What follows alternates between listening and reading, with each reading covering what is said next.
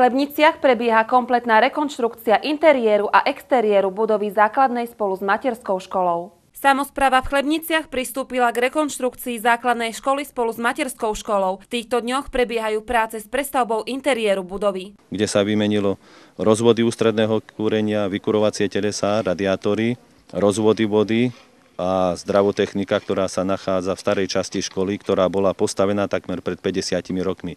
A vlastne aj z tohto dôvodu sme začali s obnovou tohto celého areálu. Plánuje sa zateplenie kompletne celého areálu. To je základná škola, telocvičňa a obslužné priestory, materská škola a školská jedáleň. Potom je to rekonštrukcia striech, teplovodná prípojka do školskej jedálne a do materskej školy a takisto aj rozvody vody a kúrenia do týchto priestorov. Podľa slov starostu rozvody vody a kúrenia boli naposledy budované pred vyše 30 rokmi a izolácie boli o niečo menej kvalitné ako v súčasnosti. Budeme musieť ten starý kanál odkryť, vymeniť všetky rozvody na novo a potom znova zakryť a dať do poriadku.